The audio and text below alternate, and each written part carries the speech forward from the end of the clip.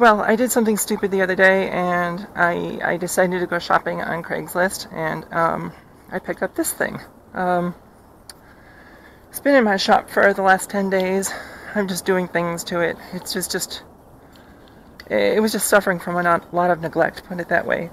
But um, it's it's sort of working now. Um, I've done all the same things to this that I did to my Honda. I'm working on it.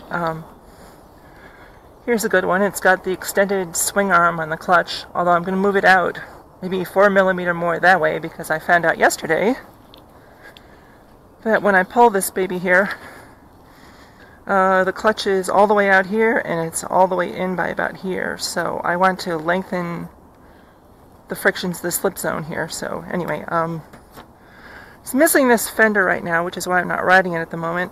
It did come with some extras on it. I had to replace the chain and the sprockets. Uh, the air filter housing was all um, damaged. I had to super glue it back together. It's got uh, things holding it in place now. Didn't have these guys. These are just some things I found in the shop. I had this uh, hydraulic clutch lying around. I took all the junk off here for the light because it doesn't even work anyway. Um, it's got these Devol guards on both ends. Um, Took off the original odometer because it was broken. Uh, that used to sit up here. Um, I took off the cable and the other shit too because it just kind of made it look useless. Anyway, um, I drained the fuel last night out of...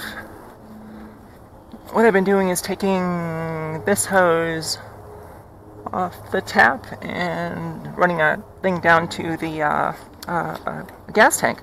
But then I realized that the stuff that's in the float is the float bowl of the carburetor is probably still there. So here's some another change I made. Um, most bikes have a thumb switch over here. I think this is the freaking stupidest thing in the phone book, seriously, because sometimes you're in a position where you, you don't, you're not able to hold this clutch in. It was a very awkward move, and you need both of your hands free while the engine is shutting down. Like, you don't have to hold it down for all the time that it takes for the engine to cycle down.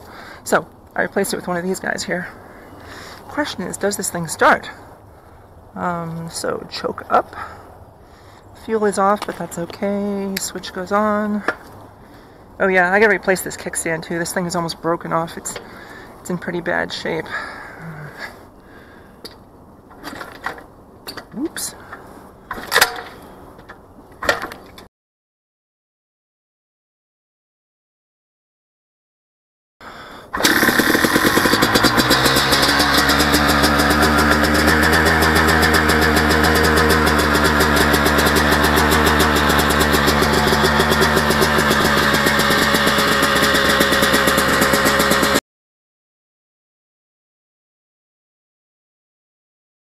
Well, I guess it is out of fuel now, huh, which is kind of what I was hoping for, because, well, it didn't take long to drain the bowl.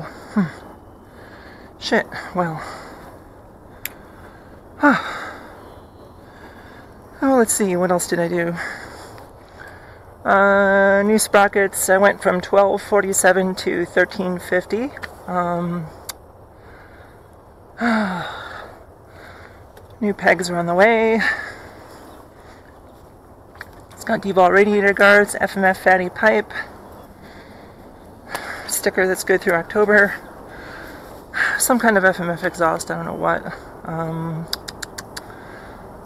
yeah, just needs a bunch of little things, that's all. I'm doing my usual things to the uh, front brake and the clutch, turning into very light one finger.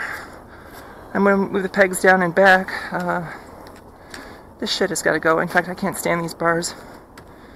Um, previous owner powder coated the frame black, which is actually kind of nice, but this gas tank looks so fucking hideous on this, it's not even, uh, so do these shrouds. Anyway, that shit's gotta go. It's just really annoying me.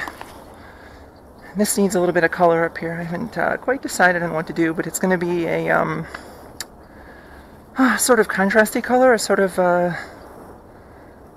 hmm, what's the right word I'm looking for here? Complementary color. That's it. Anyway, um, stay tuned, guys. I'm going to uh, keep you posted on this thing, and I hope to go for a ride as early as Friday if the weather cooperates.